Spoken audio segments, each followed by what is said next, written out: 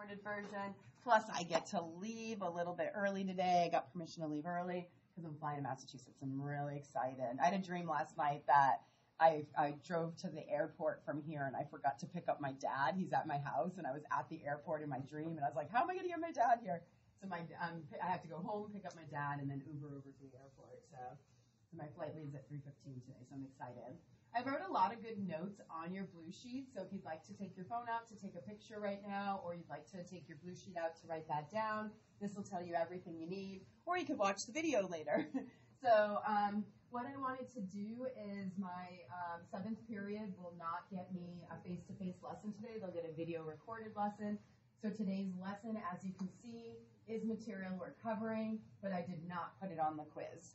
So this assignment for today will also be extra credit. Some of you need it after the first quiz. Some of you didn't have homework. Um, so definitely when those extra credit options are offered, do them if you need that extra credit. My pre-calc headed people and my college algebra headed people, today's lesson is in both of those classes. So I highly recommend you learn it. Whether it'll be on the April 11th uh, test or not will be determined when you get your review sheet on the 10th. So I'll let you know if this lesson will come up again. So definitely it is part of our curriculum. But with me going out of town early, I didn't feel it was fair that you guys get a face-to-face lesson and uh, seventh period has to teach themselves. So anytime I just feel something's not there, I'll just kind of curve that quiz a little bit. So anybody absent today will still be taking the quiz on Tuesday. So if you're watching the video because you were absent, you're still taking the quiz on Tuesday. Um, on Monday, we'll get a review sheet. I'm going to actually give it out early today so that everybody has it. Um, the sub will have extra copies on Monday, so you'll be in my room with a sub on Monday. I got Miss Basta, she's great. And then um, when I come in on Tuesday, it'll be a little while since I've seen you, but you all know, and it says on the sheet, that homework is due on the quiz day. So just stay on top of it. The homeworks that will come in are Tuesday, Wednesday, to uh, yesterday's Thursday, and also Mondays. This one would be optional. So if you'd like to go ahead and do, what is it?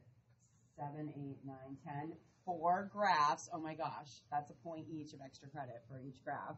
That's pretty generous. So if you want to do these four graphs, um, then you would get extra credit points um, the Albert IO that was assigned last Monday has a due date of this Monday. It should already be done.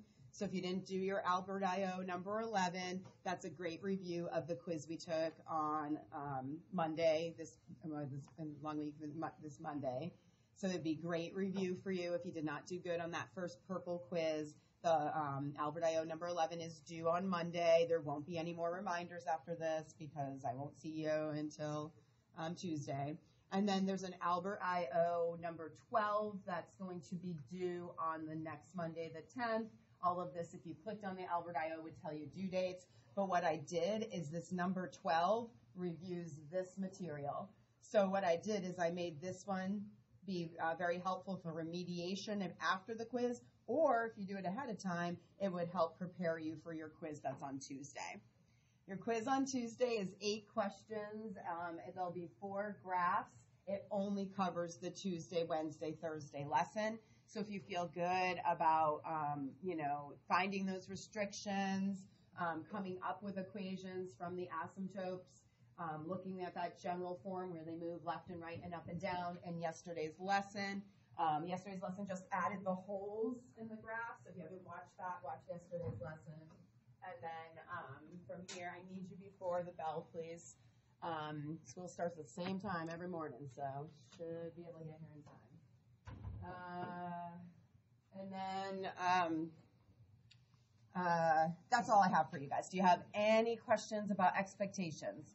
They are clear when your parents say, My kid doesn't know what's going on. I call, I say, That's not true. They get this, and then I go over it. So make sure this is the video I play back to them. Now I say this every period, six times a day. So make sure you guys are doing what you're supposed to. Um, I won't take the homework after Tuesday, um, so that that's not going to change. You guys ready to go? Let's look at this one. Okay, let's go into our last example of the day. This is all we got. Then we're going to go over to homework. I'm even going to start the homework with you today. Um, make sure you have a graphing calculator. And then I'll leave that blue sheet up at the end for anybody mi- that missed what's the expectation. I'll put that up as a, and you can take a picture again if you missed it. Okay, last lesson for 9-4. Woo! Okay, so when we look at these, we're going to be graphing rational functions again. We've graphed them over and over again.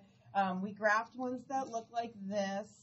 So there'll be two with a number on top. It does not necessarily a, a one. And then we'll move them left and right and up and down. And those are our traditional ones. Then we had ones yesterday where they looked a little bit more like this. And when we go ahead and factor, something cancels out. And when they cancel out, it makes a hole. So those are the two types we've seen so far. If you did yesterday's homework, make sure you go all the way to number 20. Number 20 is on the quiz. So some of you cut corners and don't do the last problem in a homework. And so make sure you go all the way to 20 because 20 is on the quiz. And um, you'll have additional practice. The ones I'm talking about will be on your review sheet. These four down here, there's two of them. And these ones up here, there's two of those. So that's where you get your four graphs from. And you guys will get this. It'll be in a little review sheet. Um, you'll get it before you leave today. Any questions? I should just record it and then like press a button when they come in for a second and I can like do something as I'm repeating myself. Person? Okay, so you should be checking your blue sheet. Second, firstly, you came in late, so grab your blue sheet and you can look and see when our quiz is. But that's the whole thing. Now I'm repeating myself because you were late. So our quiz is Tuesday. I'll put this up at the end. You can take a picture so you know everything that's expected, okay? But that's not a fair expectation that I'm going to repeat myself for one student that can't get here on time. I'm sorry. I've got to be very honest with you right now. So go ahead and take a picture at the end. Other than that, I'm going to get started with the lesson. Okay, so what we noticed here is first off, some of you don't have notes out, so take out your notes because that's another thing I know when I talk to mom and dad. Uh, oh, he doesn't take notes in my class, so go ahead, let's take those notes out. Okay, so let's go ahead and jump right on in. We look at this and we see that there's X's on top. So they're not the traditional ones that go left and right and up and down. We're going to have something we have to do first. The first thing we have to do is factor. Which part of this factors, um, Tanner, top or bottom? The top. And then, um, Jazz, what are you going to do to factor the top? How do we factor that? X to the second plus 2x plus 1. What do we make? A little what? Yeah, the little x plus. So we make a little table. And Jazz, what would you tell me it has to multiply to? The one. And what does it have to add to? Two. And there's only one way to get that. What times what will give you one? One times one. So the factors will be exactly the same here. X plus one and x plus one again. And the bottom will be the x plus four.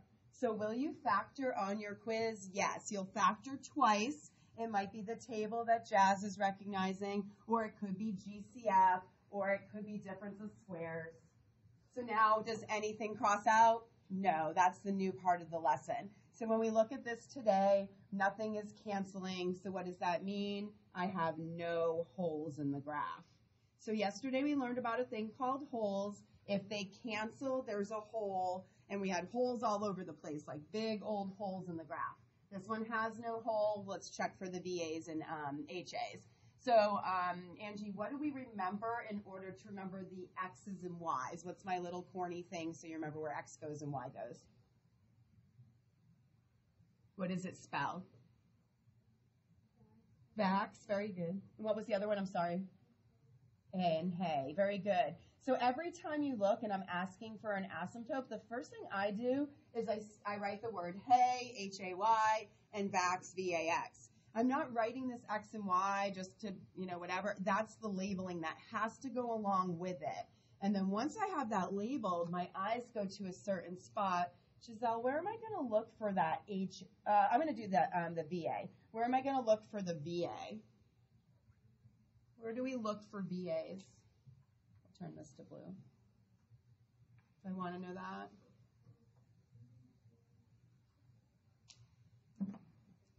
That's okay. Go ahead, Aaliyah. I'm going to look at the denominator. Yeah, whenever they say x equals, it makes my eyes go to the bottom of the denominator. Good. And then what do I have to do, Ivan, to that denominator? I got to set it equal to zero. So there's some good space over here. We'll set it equal to zero. And we're going to see that we now have um, a VA, which is called a vertical asymptote at negative four. So I like to put that on my graph. I gave you lots of good space. Go on over, put in um, some kind of vertical line going through the negative 4. So yesterday somebody said to me, um,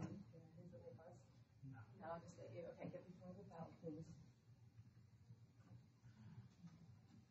Um, somebody said to me, How do you know where to put it? This is telling me go through the x axis. So I go through the x axis at negative 4. Now, the part that we did yesterday that was a little bit um, confusing is normally when we were in this form, we were looking here for the HA. But I told you as soon as they put an x on top, there's not you're not going to look for the k value anymore. So the way we do this is whenever the exponent so we look at the exponent, the exponent on the x, and we look at the exponent on the x. What's the exponent on the top x? What is it? 2. What's the exponent on the bottom x? 1. So since it is larger exponent on top, when the when the exponent is larger on top, I'll let you know there's never ever an HA. So it's a little test that I can do. If this was uh, x to the third, still no HA. If this was x to the fourth, and this was, I'm pointing, if this was x to the fourth and this was x to the second, still no HA. There'll be no horizontal asymptote anytime it's larger on top. What if it's smaller on top? Well, if it's smaller on top, it's always zero, but usually something crosses out. And what if they're the same? We make the ratio. So those are the three things that happens. In this section, it's always larger on top, and you find out that you have no HA. And here comes in the new lesson. So if you have no HA, then you don't know your boundary lines. Usually the HA goes somewhere across this way, and then we use that as our boundary lines. But we don't have an HA. Instead, we have what's called a slant asymptote. And a slant asymptote is exactly like it sounds. It's going to be an asymptote, another invisible line, but it's going to be slanted. It's going to look like a linear line with a slope to it. So the way we find that is we use division. We take this top one, this x to the second plus 2x plus 1, and we're going to divide it by the x plus 4. So we're going to go ahead and divide it. And you're like, Shackton, we can't divide it. It doesn't go in nice. No, it doesn't go in nice at all. So we're going to go ahead and use what's called synthetic division. So with synthetic division, we've learned that this year. So this will be synthetic division. If you got to watch a little video on it or something, we go ahead and we make the balcony. Is it coming back to us? What goes in the balcony? Negative 4. Really good. So right here, we look at what we're dividing by and we change the sign. Synthetic division is used a lot in math classes. There's sections where we use it like eight times in one problem. And what we do is we're dividing now. So we go ahead and we put the negative 4 in the balcony. What if this had been a minus 4? We'd put a positive 4. And then we list all the coefficients. The coefficients are the numbers in front of the x's with that little 1 at the end. So it's 1, 2, 1. And then we bring down that first 1 and now we're going to multiply and add and multiply and add and multiply and add. So we've done this before. This is the way we're finding the asymptote when there's no HA. When will this happen? Four times in your homework, twice on your review, and not on the quiz. So again, I'm just prepping you. If we saw this again on an assessment, it'd be on the 11th, and you'd have some more practice. So we're going to go ahead and multiply these two together, giving me a negative 4 and I'll put it here. You're going to multiply, and then you're going to add. We're going to add straight down, and we're going to start that process again. Multiply and add, and that leftovers represents your slant asymptote. What you do is you take the first two numbers and you make it into a linear. If it started as an x to the second and I divided it as an, by an x, it just became an x to the first. And this is really weird for me because I'm telling you right now, the 9 does not matter. So the only part we use is the first two numbers, and we put an x on the first number, and x goes here, and we have a little linear there. Now we went ahead and we used, um, so this one we could write none too, just to fill in the holes. So that's the new part. That's how we find the slant asymptote. And I'll help you with another on this part. A lot of the other part, like the factoring, is, is old school. How do I graph this linear? Um, Angie put the phone away, and um, Jake, what would I put on the graph first if I'm going to graph this linear? The negative 2. The negative 2 goes down to the y-axis. It's a y-intercept, and then I'm going to use the slope. Arbor, what's the slope? It's just 1, so we just go up 1 over 1, up 1 over 1, up 1 over 1. What if you don't know how to um, graph a line? Well, if you don't know how to graph a line, you can go ahead over, you can hit table, and you could just type that in there, and you could use your table to graph that line. You'll see we're getting the same thing. So that's totally fine. Now this is an invisible line. So a lot of times I make it dashed. It's a boundary line. Remember those asymptotes are going to be boundary lines. And then we'll go ahead and push up just a little bit. Now we'll pick some good values to see actually what the graph looks like. None of this is the graph. All of that is just the boundary lines. And so now we'll pick some good values. Good values are values that are on either side of the green line. Happy birthday, Albert. There you go. Those are small. There you go. Happy birthday. so um, we'll go ahead and pick some x values on either side of the green line. Is that they fussed today? Yeah. Okay, sorry about that. Uh, okay, I gotcha. Um, so when we pick values for x, we're going to pick on either side of this left line. Daniel, what's on the other side of the green line on the left? What number would be a good pick? Negative 5, I agree with you. And what would be on the right? Well, we're at negative 4, so let's not pick that. That's the green line. So what's one more over to the right? So he's right. Negative 5 is right here. What's on the other side? Negative 3. Beautiful. This is one section. I am not going to do this by hand. I don't want to plug those values into the top. I'm going to be a little lazy and I'm going to go over to my calculator. I'm going to hit table and I'm going to type this into my table. So everybody give it a shot. Put an n over d on there. We'll have x to the second plus 2x plus 1 all over x plus 4. And we'll go ahead and press enter, enter, enter, and find out what those values are for y. When we look, oh, there's the error. What does the error represent? The error represents the asymptote. That's the green line. And the numbers are going to get huge in here. That's okay. If the number gets huge and it doesn't fit, where are my eyes going to go? To your table. So it's totally fine. It's not a big deal. So let's go ahead and see where these graph points are. We're going to go ahead and graph them now. So we'll go negative 5, and we're going to go 2, 4, 6, 8, 10, 12, 16, all the way down there. Not a huge deal because what happens, let me um, go ahead and extend these asymptotes just a little bit. What happens is because I know that point is in this section, watch this, this is kind of cool. It curves and starts to approach those asymptotes.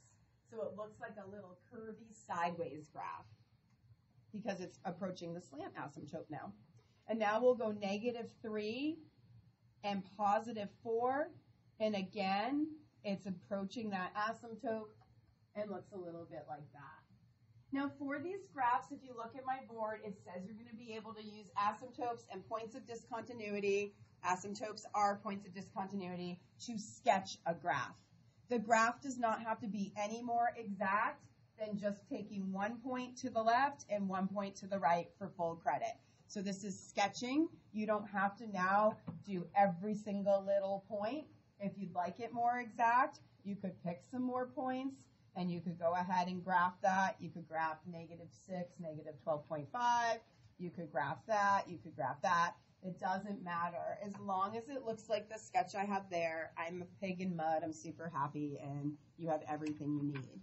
I'll let you know the numbers in this homework, and there's only four of them, are going to stink. They are going to be stinky, stinky numbers. You're going to get 40s and stuff like that. So if you just make a little sketch of it and it's in your table, you are in a good spot. So I already set you up for success um, in the homework. I made two of them over here. So I just went ahead and did two that um, are in your homework. We are going to shorten it to just 1 through 10, um, 7 through 10. So it's you get a point for every problem. So that's pretty generous. And what I'll do is we'll move over to another one together. I'll make sure everybody's set up with their homework out. Grab a piece of graph paper if you don't have one. Where do you guys have questions? So the reason I'm doing another one with you is because I think that um, synthetic division is a little old. We haven't done it for a while.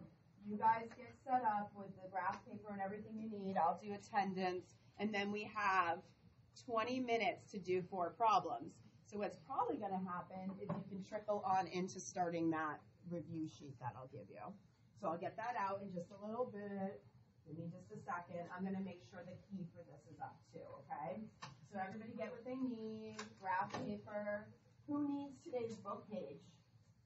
Anybody need it? Today's book page because they don't have it? Okay. Take a picture, person, and then send it to the next person, okay? And I did promise Carson that I put that blue sheet back up there and also um, Marco, this will help you too. So I'm going to make this disappear for just a second as everybody's getting situated. Marco, the only lessons, and um, Carson and anyone else that was late, um, the only lessons that will be on Tuesday's quiz are the ones from Tuesday, Wednesday, and Thursday. So everybody should be able to take the weekend to get caught up if they missed a day throughout the week. So today's lesson is not on the quiz because my seventh period will not um, get a live lesson. They'll have to do it from a recording. So not being able to ask questions and participate, I feel is not fair to them. So because of them, I did not put this section on the quiz, but these three are. So when you're studying, these homeworks would help you prepare for this, but also the yellow worksheet for Monday will help you prepare for Tuesday's quiz. There's eight questions, four graphs, and four questions just asking about restrictions and also working backwards. If I give you asymptotes, you come up with the um, with the equations. So just like what we did on the first homework on Tuesday. Marco, Carson, anybody have any questions about expectations? Okay. I think I'm pretty clear on this stuff. Okay. And then um, next week I will see you on Tuesday, so I won't be here on Monday. You got a sub. Um, if you're out on Monday, the the the sheet will still be up, and I think I'm going to keep it recording as we do one more number seven together. Number seven's horrible numbers. I don't make the problems. I'm just trying to help you through them. So go ahead and um, go over to number seven, get it set up. I'll make sure everybody's with me, and then we'll go from there. Cool. Let's see. Okay. Ah, don't start making noises on me yet, recording. I need you to record a little bit longer. Okay, so we have um, pre out. If you guys want to keep an eye on, on pre on Monday, and just make sure he knows to bring all this stuff. Um, Carson, what's up? Yeah, I haven't done it yet. Um, I'm afraid I'm going to try it right now. I'm afraid that as soon as I go off this screen, it's going to stop my video. We will find out. I'm always too scared to do it. So actually, it's still recording. Yeah, let me put the key up. Thank you. I did. I did remember that when I came in. Then I was so busy. Uh, it's up there. I just haven't made it visible to you guys. Let's see. Day two. Okay. Tell me if you can. If you refresh, if you can see it now. And I'll put the review up before I leave at um, at like lunchtime today. Okay. Cool. Thank you. Yeah, anytime you guys see that there's something not up, just let me know, just like that. Um, what do we miss? Who are we missing? Um, Trent's out. So, um, Arbor and um, Tanner, will you guys just remind Trent about the quiz on Tuesday? I mean, he's got his blue sheet, but just look out for the people you're sitting next to. The same with Pre. I know you're friends with Pre over here, you guys. Or tolerate him, huh? No, I'm just joking. we love Pre. okay, let's go ahead and do another one together. Let's see what we can do. Okay, so when we look at this next one, they've already factored it for me, so I actually like it. It's x minus 4 and x minus 4 again over x plus 2. I'm not going to make you find the zeros, so you could just, whenever you see that, just ignore that. To find the zeros, you take the numerator, set it equal to 0. I don't think it's necessary for the graphing with our calculators. So unfortunately, it's all factored up, and I see that nothing cancels. So I'm kind of bummed about that. I'd rather they cancel than not cancel. On your quiz, I'll give you an HA blank and a VA blank. It'll look like this. And there might even be a hole blank. There's no holes on this, so no hole. And the reason why there's no hole is because nothing's canceling. So it has to cancel out. So we can go over to the VA. Um, Caleb, what's the corny little thing that Ms. Shackton taught you to remember which is which is X and which is Y? What do we say? Hey, Vax. We say hey. Vax. I don't know who Vax is, but we're saying hey to him. And then we'll go ahead, and the one I usually find first is the VA. Giselle, I'm sure you're warmed up now. What would be the VA now? What is it? Yeah, we look at the x plus 2, so what's the VA? Negative 2, yeah. It is. We start at 725. We are so, like, that's not cool, right? So we'll have negative 2. But I would not like to start at 8.30 and get out at 4.30 like the middle school does. Part of the reason I didn't want to teach middle school is those later hours. When we walk out the door at 2.30, I'm, like, super happy I can make it to earlier yoga classes, go for a walk, enjoy the sunlight. My husband did middle school. Okay, so now we'll look and, um, oh, wait a second. There's no number on the outside. I can't use the K value. So when we're talking about the HA, this is the tricky new part. See how the exponents 2 and the exponents 1? What are we seeing? The exponent is larger on top. So when it's larger on top, I think of the guys that have the muscles. They have no problems. They've already worked out. They're naturally got those big muscles. And so um, I don't know if that, but when you're larger on top, you got the big muscles. Um, you have no problems, so you have no asymptote. I don't know. That's how I remember it. When it's smaller on top, they feel like a zero. So that's just the kind of corny ways I remember it. So you would actually write no HA here, and then this is where the new part comes in. If there's no HA, then you're going to have a slant asymptote. And this is why I'm helping with another one because of this area right here. Okay, this is all the new, the part that Giselle did, the VAs, that should be coming more natural. The factoring should be coming more natural. Let's go ahead and look. So if we go ahead and look here, we're going to find a slant asymptote. Well, they left this in a factored form. I'm going to have to multiply that out so that I can do division. So it's going to be x to the second minus 4x minus 4x plus 16.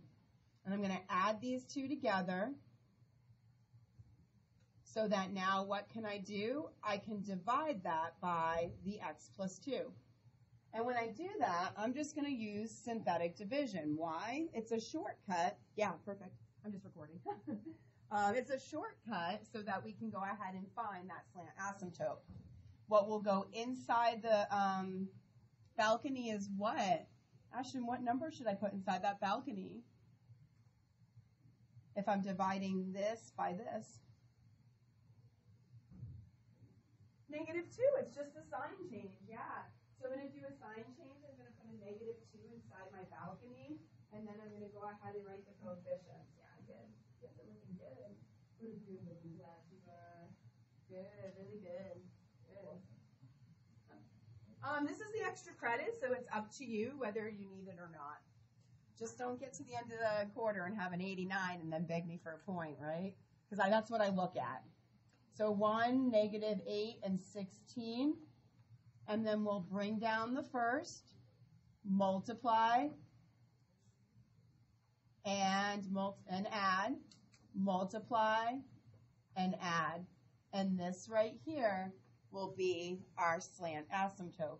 We squeeze an x in there, and so it'll be y equals 1x minus 10. Now you can see the graph is uh, getting really large, It's going to probably go down here somewhere. I don't care how messy it is. If you're on your own paper, you got more space than I do. And we'll just go on down to negative 10.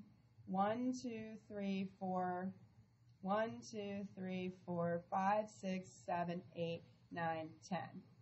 The slope will go up 1 over 1. So this is a great section because on top of learning the new material, we're also reviewing y equals mx plus b. I like to make it dashed because it isn't part of my answers. It's just going to go ahead and be um, the restrictions on my graph. It's going to be where it's approaching. And we're in the home run stretch now. So Ashton asked, does he have to do this? No, but anybody that just did this problem just got a point of extra credit. So if you um, need some extra credit points, do this assignment. And right now I'll pass out the review for Monday for someone like Ashton that's like, oh, I don't really want to do the extra credit, but maybe he'd like to get started, started on Monday's lesson. This is for Monday. It's the review sheet. It's identical to your quiz. So you do you. You guys are big kids. You know what you need. So some of you need the extra credit. Some of you have 111 already. Um, this is a requirement for Monday, the yellow worksheet. This will be one of the four homeworks collected on Tuesday. So I'm just getting it out early because I have kids always ask for it early. We've got some really high achievers in these classes. I've got valedictorian sitting from sophomore class, so that one's you know motivated. A lot of these kids are very motivated, so.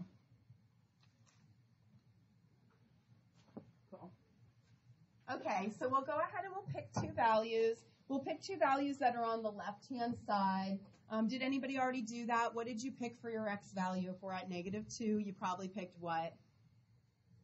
Negative 3, and what's on the other side of negative 2?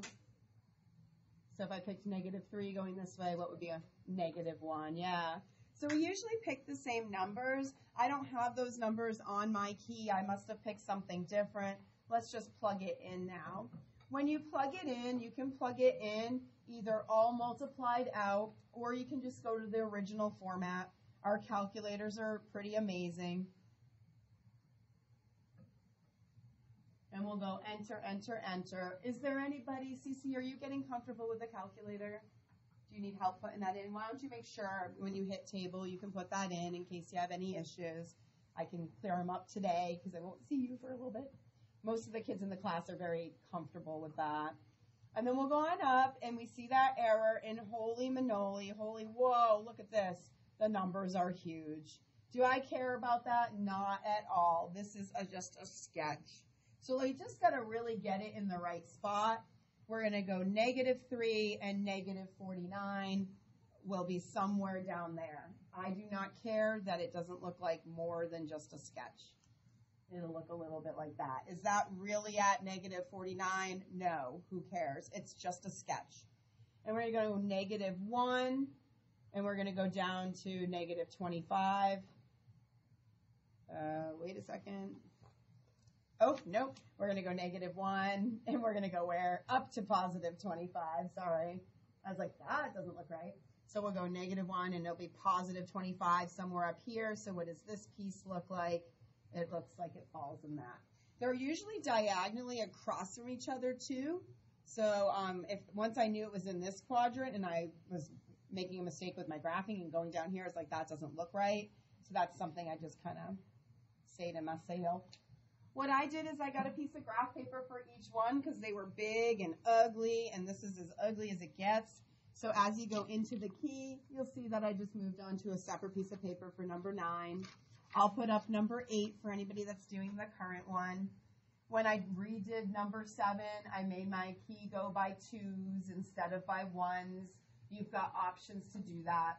And the zeros, I decided not to teach, so don't worry about the zeros. You can skip that part. Just go asymptote, slide asymptote, and graph for full credit. Okay, is everybody done with seven? We'll put up eight, and then I'll walk the class. You can ask me any question you want. You can ask me anything from the yellow. We have got about eight more minutes. So maybe you're like, I'm not worried about the current lesson. I'm going to worry about the yellow. I can't do number three on the yellow, Miss Shackton, come here and help me. So go ahead and let me know what you guys need. I'll stop the video. We had a lot of really good practice on asymptotes here. But if you guys want to go ahead and try number eight, that's cool.